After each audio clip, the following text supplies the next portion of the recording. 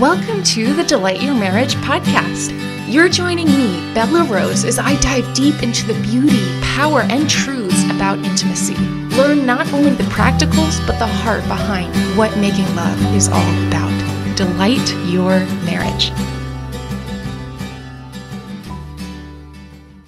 Hello, hello. This is Belah. I'm so grateful that you are on this call with me, whether you are nearby or whether you're far away. It's just amazing that we get to spend time together. I'm I'm so grateful and I want you to just take a moment and feel the Father's love for you. Deep breath in, deep breath out. The Lord of the universe has his eye on you. And he loves you. And he is eager to be proud of you. He loves you. He created you. He knows you. He's got his eye on you. He smiles when he thinks of you.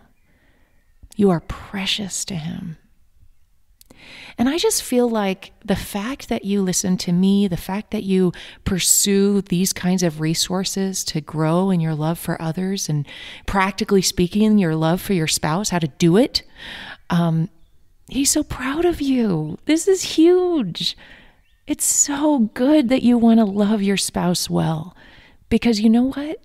He loves your spouse too. And he wants your spouse to feel his love through you. Through you. So I am just thrilled about this topic today. I think it's going to be really helpful for you. It's been helpful for me. And before we dive in, I do want to let you know that our clarity advisors are just, they're wonderful. They're wonderful humans and they love serving you. And if you have listened for a while, or even if this is your first time and you just um, are so excited to continue the journey, maybe the podcast has helped you and maybe there are some gaps or maybe it's helped you for a little while but you're just not sure how to maintain this kind of stuff. And or or maybe you like what you're hearing and the philosophy seems right but you're just not sure how to practically do it. Or you're like gosh there's 300 plus episodes here and I don't really know where to start or what really applies to me in my marriage. So that's what our clarity calls do is they give you an understanding to to zoom out, an opportunity to zoom out and then zoom back in of like what is really happening? Where are the actual gaps in your understanding, in the ways you approach your spouse? And then our clarity advisor can really dissect what's going on and, and how to help you. Because by God's grace, I, I would encourage you to listen to those transformation stories. They're just I mean, jaw droppingly amazing. And um, our team gets to see way more than that on the inside because we definitely don't share all of the transformation stories. And plenty of people are not. Uh, courageous enough necessarily to share on a video testimonial their uh, you know their intimate story so it's just so exciting when you get to listen and say oh my gosh that's what god is doing and yes that is what god is doing and we give him all the glory for it. So, today's episode, I am thrilled to share with you. Let's go ahead and dive right on in.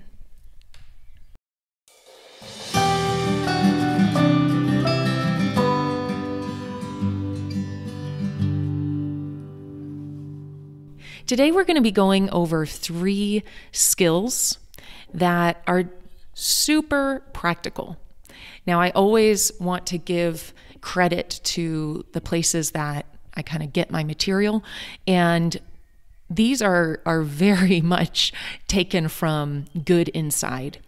It's a uh, um, Dr. Becky, and she's got a podcast. She's got an online community, and it came from her online resources, and uh, it's just fantastic. It's it's parenting based um, work, but um, I want to kind of again utilize my experience and uh, work with men and women in my work and see how we can adapt it for um, our purposes in marriage. So, certainly, there's a lot of my own um, insights around these skills, but I want to give credit where credit's due. And, and she's got some really cool practical things um, in her resources. So, check that out. Good Inside is her is her podcast and her resources. All right. So first things first, this is all about having the skills you need to respond to situations with your spouse differently. So, if you've listened to me for a while, you know one of my big things is no arguments. You can have disagreements, but they do not need to escalate to arguments. In fact, when you get to a place of an argument where everyone's emotions are high and elevated, you are really not able to do anything productive. In fact, for the most part, it just undermines your connection. And once you don't have that connection or it's undermined for a day, an hour, a week, however long it lasts, I mean, you're not you're not growing in connection. You're either you're you're lessening that. It's it's just not a good idea. So what do you do in the midst? Let me give you these three tools. Now, one thing Dr. Becky talks about, and I love her mindset here, is that you have to practice it outside of the moment. You have to practice these skills before you need them. And that is so true. And and I teach that as well. You have to get with these other like for example in my men's program i often pair people up and ask them to practice some of the skills we're learning so that on game day when you're with your spouse you're not trying to do this without uh, having practiced. You you get it. You know how to do this already. So first skill is drum roll please deep breathing. Deep breathing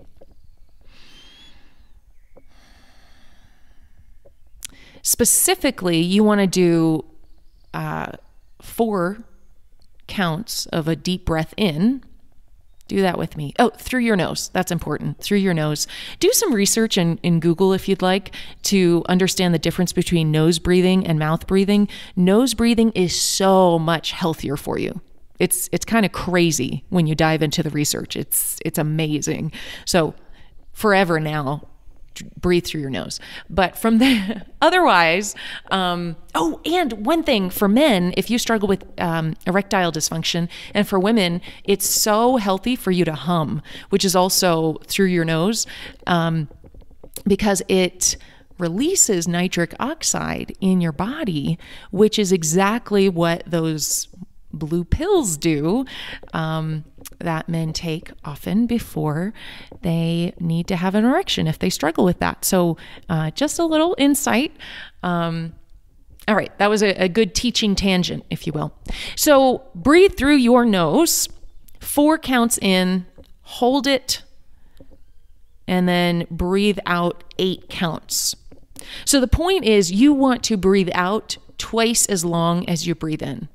So instead of the mouth breathing very fast that often happens when somebody's feeling nervous or anxious or fearful or panicky, what you can do is change your physiology towards where you want to go. So you know that maybe you just got accused, you just got attacked. You know, for for husbands, maybe you're feeling disrespected. Um, you feel like she's calling you, telling you that you're not good enough, even though she's using other words, but that's the message you're receiving. Okay, that's a red flag. You know you're getting triggered. The alarm bells are going off in your head.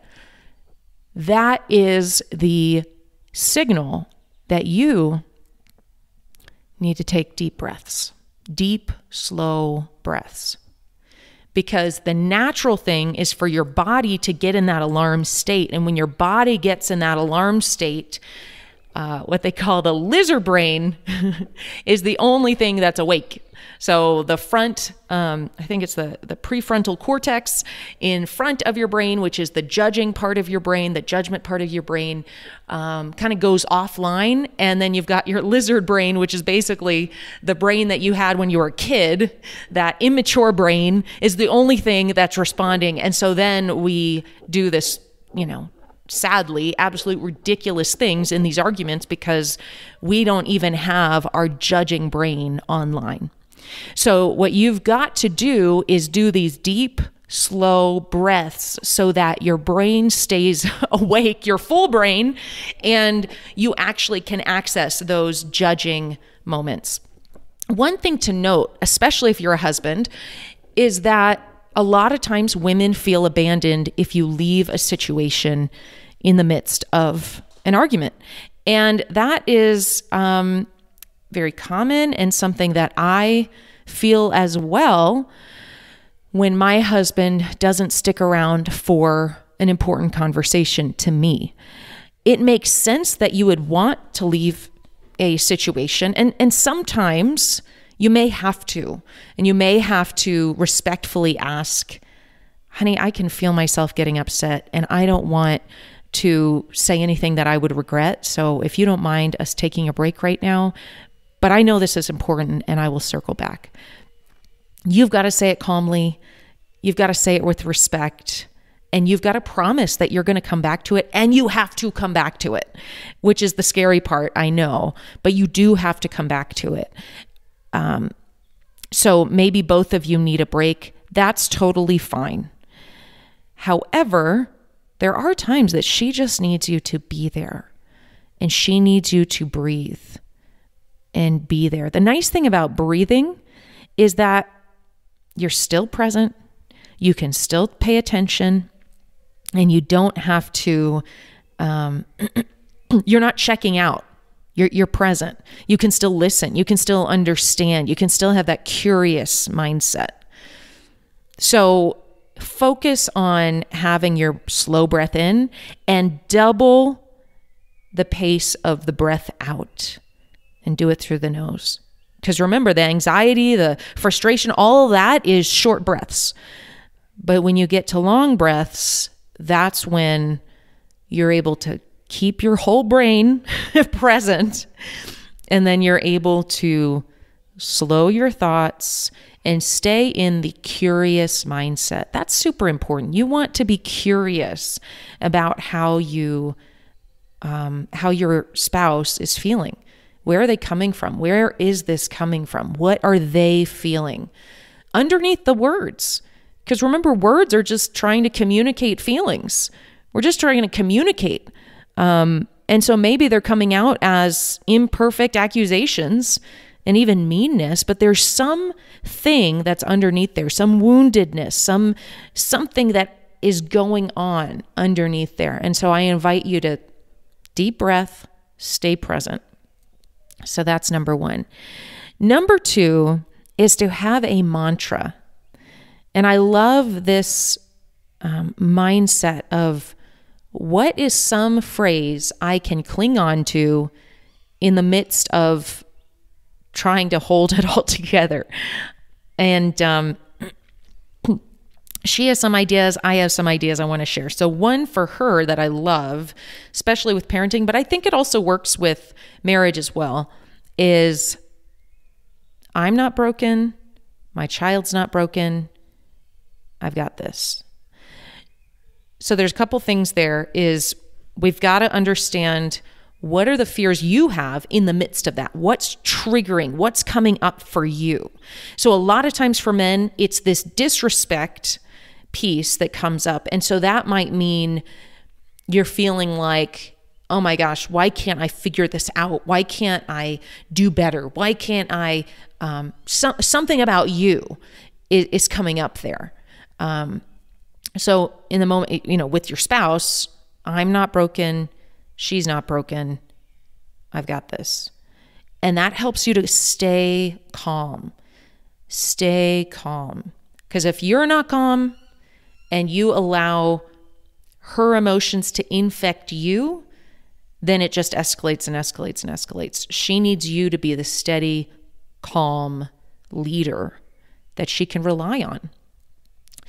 Um, and then if you're a husband, sorry, if you're a wife, it's it's a similar mindset. A lot of times you get flared up because the conversation is threatening your feelings of safety, emotional safety, uh, physical safety, certainly if that's an issue in your marriage. I mean that that's even uh, that's huge and terrible. Um, but if it's emotional safety as well, or just emotional safety, that that often just causes these huge alarm bells, and it's hard to do anything but fight back with huge accusations and mean words and rhetorical knives, right? That leave both of you bloody and you know it's it's really you you can never take back your words, right? Um, God willing, you'll be able to uh, um, forgive each other for those words, but there's no there's no way you can take them back. So so be really careful with your words, dear wife, dear husband, even in the midst of frustrating feelings. So in the same way for a wife, the, this is exactly applicable to you. This is um, what's the mantra? I'm not broken. My husband's not broken. I've got this. You know, that is what you can say to yourself in the midst. Now, maybe that doesn't make sense to you. Maybe there's a totally different mantra you need. And here's one that I think is really good and biblical. Um,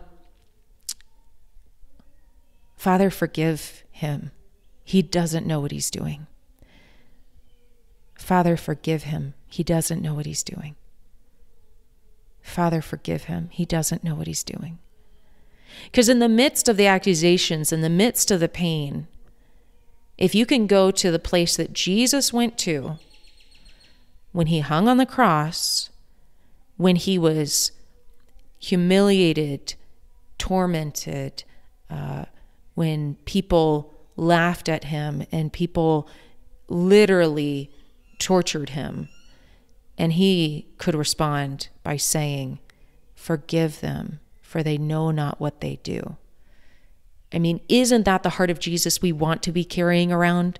Isn't that who we want to be to everyone in our lives, including our most important human assignment, our own spouse? Yes, that is what we want. That's what I want. And, you know, what I notice sometimes is I get out of practice. I get out of practice of loving my spouse the way they receive love. And so we all do you know, if I'm teaching this and I get out of practice, I mean, I think that means it's a natural human thing to get out of practice. But if we can come again and again and again to the heart of Jesus, um, so so so in the midst of the argument, you're breathing slow.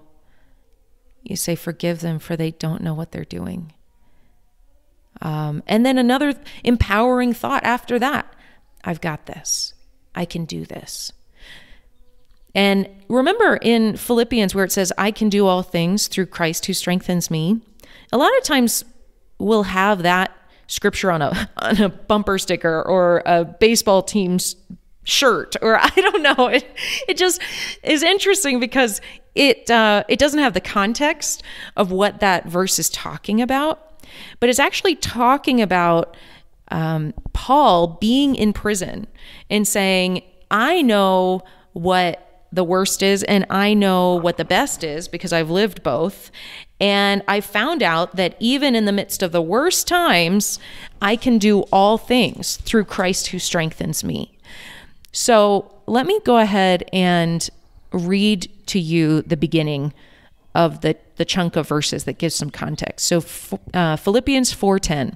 I rejoiced in the Lord greatly that now at length you have revived your concern for me. You were indeed concerned for me, but you had no opportunity. Not that I'm speaking of being in need, for I have learned in whatever situation I am to be content. I know how to be brought low, and I know how to abound. In any and every circumstance, I have learned the secret of facing plenty and hunger, abundance and need. I can do all things through him who strengthens me. Yet it was kind of you to share my trouble. And you Philippians yourselves know that in the beginning of the gospel, when I left Macedonia, no church entered into partnership with me in giving and receiving except you only. Okay, and so uh, I would encourage you to you know read read the rest, but I'll um, I'll uh, add the very uh, skip down a bit, verse 19. And my God will supply every need of yours according to his riches and glory in Christ Jesus. And so, what I think is really great there, well, many, many great things, is that no matter what is happening to him, how he is being uh, tortured in prison, um, he's saying God is going to supply, you know, God is giving him everything he needs. Uh, and, and God is going to supply their needs. And I think that that's important for us to know in the moment. In the moment of frustration, in the moment of anger, we can say, I can do this. I can do this. God, forgive him for he doesn't know what he's doing. I can do this. So you need both of those. And I wanted to give you some scriptural backing because it's scriptural. God, forgive her. She doesn't know what he's she's doing. I can do this. So, as you're deep breathing, as you're in the midst of completely getting blasted for something you don't deserve, God, forgive her. She doesn't know what she's doing. I can do this. I can stay in this. I can have compassion. I can have grace for her. And again, these things have to be practiced outside of the moment. They have to be practiced outside the moment. And when I say practiced outside of the moment, some really good opportunities to practice this is um, during your day in random situations. So I don't know if you're like me, but if you are, sometimes my own email inbox makes my heart move in the wrong way. Like even just a a title, a caption that I don't know, a subject line that I don't I don't even know the contents of. Maybe it's some promotional nonsense and I'm uh, ready to just have an accusing uh, heart around. and in that moment, can I deep breathe and I can say, God, forgive them. They don't know what they're doing. And say, I can do this, which gives just a you know, even though it, even though it's tiny, it, it might be just some tiny whatever it may be, uh, or maybe you see sin in the world and. and that's another opportunity. Instead of getting frustrated and angry and it, it ruining your day, can you say, God, forgive them? They don't know what they're doing. I can do this. What if it's traffic? Instead of getting angry and making uh, uh, you know, seeing that your heart is getting frustrated instead of, Father, forgive them. They don't know what they're doing. I can do this. Right? I can do this, right? I can stay in this. I can still live in the fruits of the Spirit because the Holy Spirit is in me. I can stay in the place of the middle of your will. I can walk like you, Jesus. I can think like you, Jesus. I can uh, spend my um, emotions like you, Jesus. I can do this. I can do all things through Christ who strengthens me in the midst of where I am right now. That is the second tool. The third tool that Dr. Becky talks about is MGI. Find the MGI. I love this. What is MGI? She calls it the most generous interpretation. Look for the MGI. Look for the most generous interpretation of what just happened. And again, you have to practice this outside of the situation, but we can use the example of traffic. Uh, let's say someone cuts you off and is, you know, driving ridiculously, and they certainly were not following the rules, and you get angry. And it's unsafe, and there's so many reasons why you would get angry. But What's the most generous interpretation? If we can look for that, well, maybe their wife's having a baby in the back seat and they need to get to the hospital. That's often what my husband and I say when something crazy happens on the road. We're like, well, they probably are having a baby in the back seat. Let's, let's give them extra room. Get there, buddy. Go, go, go. and isn't that a happier state of mind anyway? and then you're not mad at every other car, uh, and you're not wasting your emotions on something just stupid. Do you mind me saying that? Because it just is. Why waste your emotions on something that is just, why not just let it go? But in the moment, can we think of the most generous uh, interpretation. Now, the only way you can get to being able to do that in the moment is if you practice outside of the moment. So, in the moment with your spouse, when you get to, oh, they must have misunderstood me, they must think that I'm XYZ. The only way you can get there is if you practice outside of it. So, let's say you guys had an argument. Okay, we fail. We have to get back up, dust ourselves off. But then afterwards, you can reflect and say, can I find the MGI here? What's the most generous interpretation of what just happened?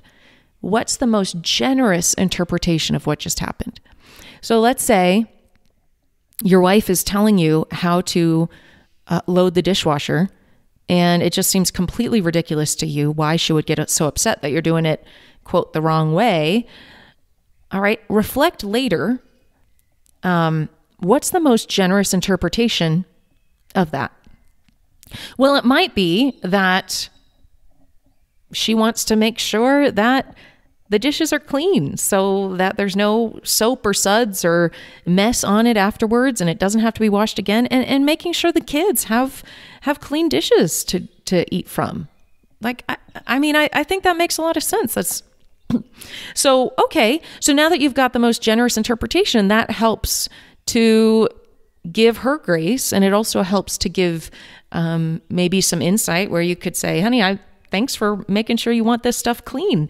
Uh, you know, is that is that the concern? Is is the concern that you're you're you're worried about it not being clean for the kids, or you know, and you give those uh, the benefit of the doubt. Another obvious way to say it, but um, when you give that kind of an explanation to it, then you're not accusing or saying she doesn't respect me. She thinks I'm stupid.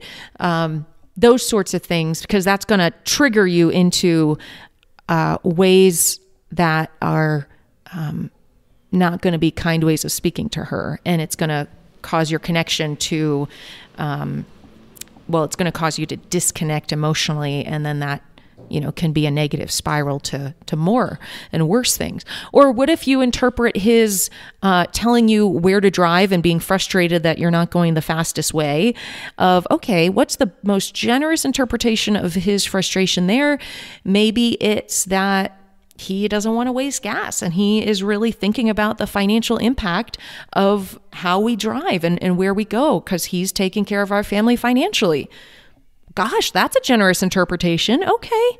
All right. Well, thank you, honey, for for making sure that we we don't waste gas and want to make sure that we're going the right ways. And even if you say something like that and and he has an opportunity to reflect and be eh, you know like, yeah, I am a little more magnanimous than I than I really thought I am. And then, you know, people live up to the identities you give them a lot of times.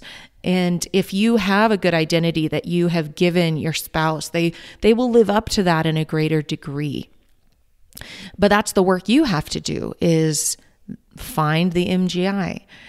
So in all these different circumstances, slowly you're going to get better at these skills if you practice them again outside of the situation. Because if we remember that our spouse is our highest human assignment, game day is when we're with our spouse. Game day is not when we're with the uh, grocery store clerk and we say, Have a good day, and uh, we smile, and we might even say, God bless you. Like, great. That's awesome. But that is way less important than the way you greet your spouse in the morning than the way you listen to your spouse when they have hard feelings going on, than the way you are patient with them when they say, make a mistake or they say something that is wrong or they present themselves poorly in a public situation. How do you respond to them? That matters more than your your conversations with acquaintances. It matters more because what you're doing is growing your character and when you have a good character, it shows in every other way. I'm growing in these ways too. So don't worry. I'm I'm right there alongside of you. We're all growing. But how do we do this um, so that our hearts look more like Jesus? Here are three skills to practice. You and I get to practice together. When you're getting frustrated and you need to excuse yourself politely from a situation so you can breathe and you can think about what's the most generous interpretation here,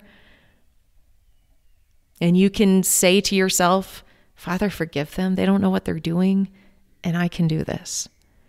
I can do all things through you right? When you say those things, when you practice those things, when you do them when you're by yourself, it'll be easier to do them with your spouse. It'll be easier to do them with your kids. Practice these things. You can do them. You can do them. And I suggest you write these things down. Deep breath in, slower breath out. That's number one. Have that mantra Father, forgive them. They don't know what they're doing, and I can do this through you. And number three, look for the most generous interpretation. Find it. Even if you have to do it after the situation, find it and do it inside. Even if you never mention that MGI to them, do it on the inside. Well, I am just thrilled again that you are listening, that you are seeking to love your spouse and everyone else in your life well and better. And let's pray. Lord Jesus, I thank you that we can do all things through Christ who strengthens us. Lord, you strengthen us. We can do all things. We can be in prison and still say, Rejoice in the Lord always. Again, I say, Rejoice. Through you who strengthens us. That is true strength.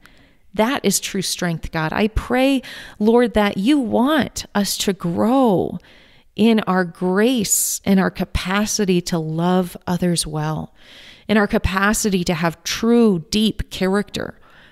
You want us to grow in these ways. God, give us grace to practice in traffic, practice when we get frustrated with the kids, practice with our spouse, and how all of these things matter in eternity and it'll matter in other ways, in other seasons of our lives that we need those muscles strong because we'll be tested, we'll be tempted, will be tried in bigger ways. And you want us to be mature, you want us to grow. So thank you for your love, your kindness, your leadership, the way you grow us. And we just are so grateful. In Jesus' name, amen. Well, I hope you're as excited about these tools as I am. I can't wait to practice them. I hope that you will practice them. And uh, we'd love to have you on the inside to journey this road with you to love your spouse well and witness God do incredible miracles in your life. So if you're interested in that, you want on the inside, go to delightyourmarriage.com slash CC and sign up with a clarity call, share your story, have a listening ear. People have even reached back out to us months after they've had their clarity call uh, and they for whatever reason were not able to join the program or it wasn't the right fit for any reason. And they've actually shared how important that clarity call was for their journey and how god has shifted things for them. So it's awesome no matter what and we'd love to have you on. God bless you. Have a wonderful wonderful day